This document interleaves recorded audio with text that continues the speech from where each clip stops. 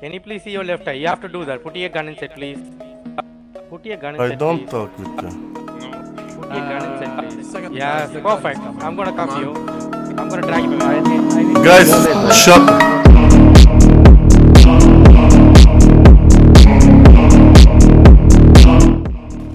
Buna korkularım.